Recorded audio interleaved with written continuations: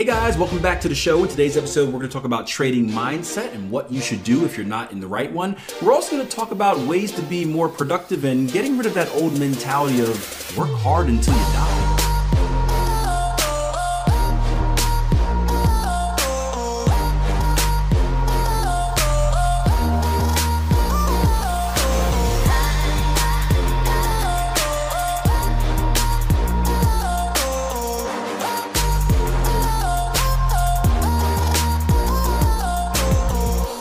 Originally I came in today. Um, I haven't done any analysis today because this was going to be a non-trading day for me. This is one of the rare days where I did not pass my mental check. I'll get to your question, Amari, in a little bit, but we don't talk about this a lot because it's um, very rarely do I have days like this. Um, and, and Michael Lamott, and, and you guys familiar with Michael Lamott? We, we, we, brought him in a few years ago for one of our workshops. We should bring him in again. He's awesome. Um, he is a he is a great dude. Um, if you hear if you know my story and how I, I struggled for two years, um, it seems like nothing. He struggled for ten years in trading. Ten years.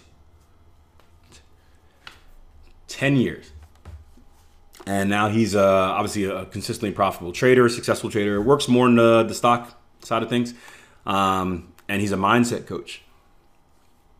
Um, and he's really big on this as a, a you know a daily mindset check, where you make sure you're in the right position to trade. And this morning I was not right, so I did something really dumb yesterday. You, you might have saw it on social media. I did a milk mile. I would highly recommend that you never, ever in your life do a milk mile. It was horrible. The images and videos will live on the internet forever. Um,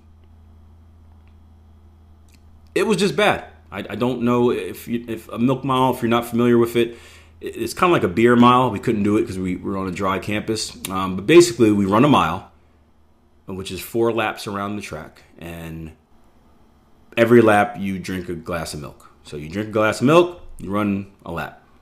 You drink a glass of milk, you run a lap. You drink a glass of milk, you run a lap. You drink a glass of milk, you run a lap.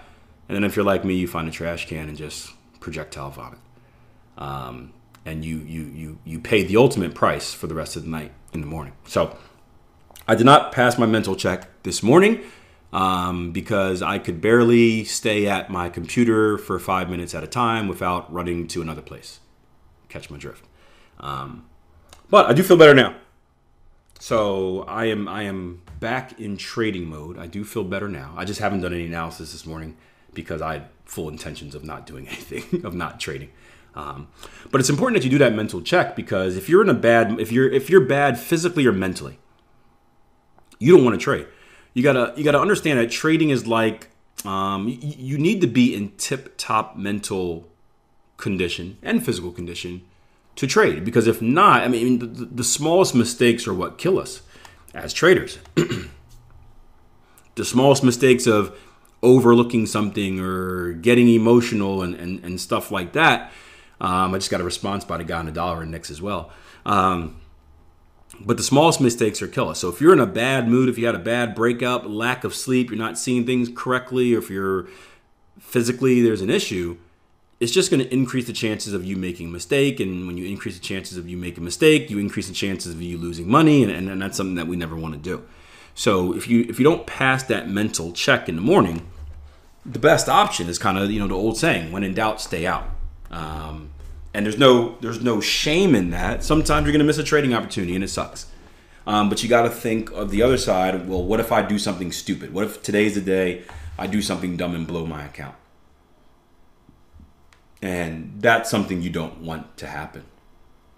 Now, typically, if you're a longer term trader, it's not not as crucial because a lot of your trading ideas were set up beforehand. Um, but especially if you're like actively trading, doing active analysis of the market, it, it can be pretty tough. So that's very important, not really talked about enough, um, but it is. Joe said I had about a month ago. I had to step away for a few days. Yeah, and, and you know, taking a break is, is, is good as well. I, I, I think who was it? Um, who was I talking to over the week? I'm not sure if it was Mike Bellafiore or Dr. Brett. I think it was Dr. Brett Steenbarger who talked about he, he or no, no, no, Denise Shull. Denise Shull. Um, she took. Um, she's a, a, a, a kind of a, another mental coach with trade and trade psychologist. Um, she took two weeks off for vacation, and she said, I, "I never, I never felt more refreshed in my life. I recommend that for everyone." And taking taking a step back is is massive to, sometimes, especially if you're if you're you know I listen to a lot of you guys accountability sessions and you're you're in the live room, you're back testing when you're not in the live room, you're going through courses, like you're, you're a lot of your life is engulfed in, in trading. You're you're not you're finding that there's not enough time to do everything, and that could be overwhelming. We we do have to remember to keep that balance, where it's like, hey, take a day, take a day, and just be like, hey, this is this is going to be you know Sunday, not doing anything trading related Real quick says George, uh, a lot of guys I speak to feel guilty for taking a day off as they feel like they're supposed to do something. My argument is well, if you uh, if you don't if you're not mentally right, you're gonna do all you're gonna do is spew out garbage and you'll have to redo all the work again. Yeah, it's it's quality over quantity, George. Yep. I, it's funny. I, I, I, you guys know I coach track and field, um, and a lot of high school coaches are I coach at the college level. A lot of high school coaches are horrible. They don't they don't know what they're doing. It's not necessarily their fault. They don't know any better. They're you know a lot of them aren't they're teachers and coaches secondary, but a lot of them don't know what they're doing.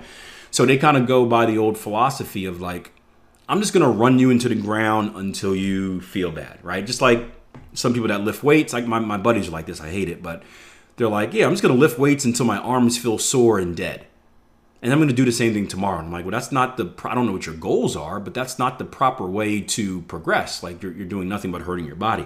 So whenever I talk to these recruits, I tell them that my philosophy is quantity or quality over quantity, where it's, I want to, I want to do a workout.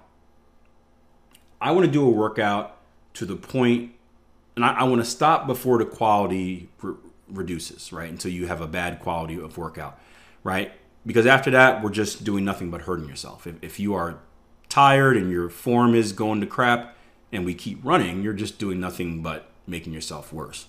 And then we got to take time off. You might get hurt and you got to redo the situation. So, yeah, it, it's the same thing.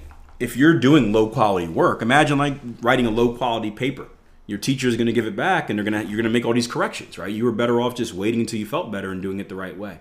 Um, but I don't think that's the I don't think that's the mindset that our society is in. I think it's the, it goes back to the whole mindset of like we have to grind every day, no days off, right? What's called the something called the 5 a.m. club or something like that. Someone asked me if I was part of that earlier. The 5 a.m. club, I got to wake up 5 or 4 o'clock. If, I, if I'm not waking up 4 o'clock every morning, then you're slacking. I tried waking up 4 o'clock every morning. Man, the quality of my work went to crap. I was burnt out by 8 o'clock, right? I was unproductive for the rest of the day. I'd rather get a few extra hours of sleep and be productive for the rest of the day than be part of the 4 a.m. club, right? So it's it's I think we're brainwashed to it's it's weird. We, we, we want to work hard, but I think we've been brainwashed to work to work hard too much and forget about balance. And don't get me wrong, there, are periods in your life where you have to get after it. Like again, I, I was one that when I was learning how to trade, there was a, there was a sense of urgency, probably because I quit all my jobs, um, where I was 12 hours a day on the charts. 12 hours a day on the charts. So I, I, I get it, but you got to look at my situation. I was 12 hours a day with nothing better to do. So I was still sleeping at night. I was still going to bed at 10 or 11, waking up. I wake up 6 o'clock no matter what, waking up 6 o'clock. So I'm still getting seven hours, six, seven hours of sleep. I just did all my work during the day. And I would take breaks. I'd take lunch breaks and blah, blah, blah. Because same thing like you said, I, I would back test and I would go on like five hour binges of back testing and I would notice that I was making all these mistakes because I was fatigued and tired and, and whatnot. And I would have to go back and do my back testing again. So I learned, and I'm still learning to this day to balance, but I learned like, hey, I do like one year or like, you know, depending on what time frame, three months and then take a break. Three more months, take a break. Right? But yeah, I do think I do think that's a bigger problem where we don't believe that we need time off. That brings up, man, we're getting a lot of rants this morning. that brings up a cool experiment um, they did over in Japan. Um, I read about it last year where they they added they added an extra off day. I think it was the the, the four day work week. I don't know if you guys ever heard about that, where they gave you an extra day off, but I think they added two more hours. Oh, no, wasn't that? Was it the four day work week, or did they did they reduce the? Gosh, I'm trying to remember because there, there were two different studies. Um, but I think I think the one in Japan what they did was they reduced the work day. So instead of like your normal nine to five, and they took like two hours out of it. But what happened was people became more productive. There was another study that was done with where they took a whole, a whole day off and added and added time. Um, but yes, I mean we uh, we were debating the other day about um they used to have like uh like what siestas? Where the whole everything shuts down at 12 o'clock you just mandatory hour off? I don't think that's a negative thing. We, we do that at our school where every th- do it once a week. Every thursday they have something called the common hour i think every thursday you're not allowed to schedule classes or, or most most classes aren't scheduled between i think like 12 and 1 o'clock and it's just supposed to be like a mental break day for for students So yeah, yeah, I'm, I'm a big yeah. Time I think time off is key, um, and everyone's different. You know, some people are workhorses and they can get after it. Some people need more more time off. Um, Bobby says, just going back to shorter work week quickly. Um, it was Iceland. Okay, so Iceland did the shorter week. Japan must have did the shorter hours during the day. I think Japan did a five-hour work week that sounds some for some reason five hours stands out. What's it called? Jamal. If you remember Jamal, he was a member for a while. He was actually over there. Um, he, he's based in Japan. He was there when they when they were doing it, and he felt so much more productive. And the study said that it eliminate it, it eliminated some of the dumb stuff, like like meetings. You guys ever been in a meeting and you spend the first hour of a meeting talking about nothing that has to do with the meeting?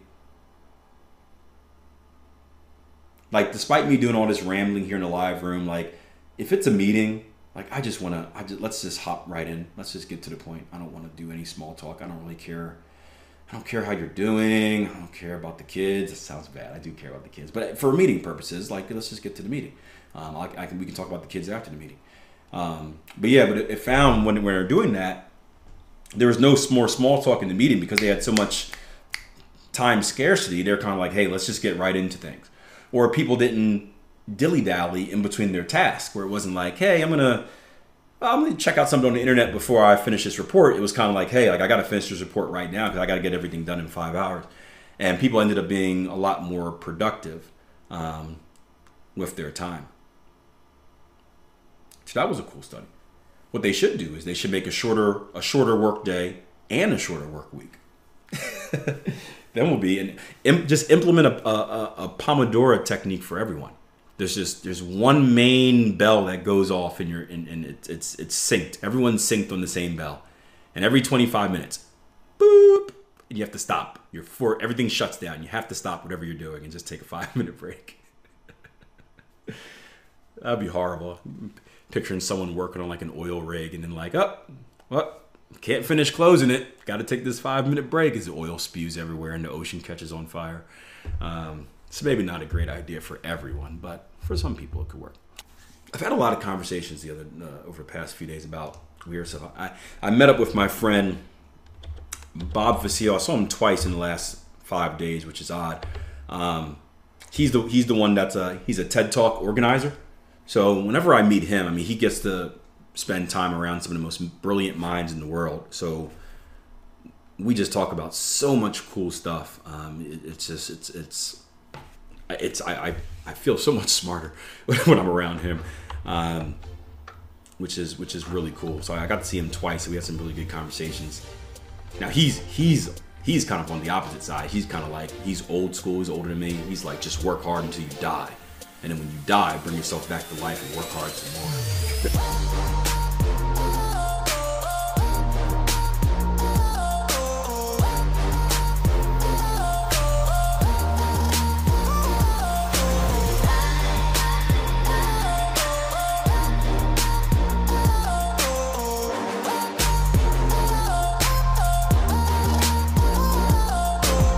Hope you guys enjoyed the show. If you did, do me a favor, give me a follow. Also, leave me a rating review. Also, make sure to share this on your social media uh, platforms, right? Spread the word about what we're doing here at the Trading Coach Podcast because each new person you impact allows us to create some really cool new episodes for the show based on the questions that they have for me.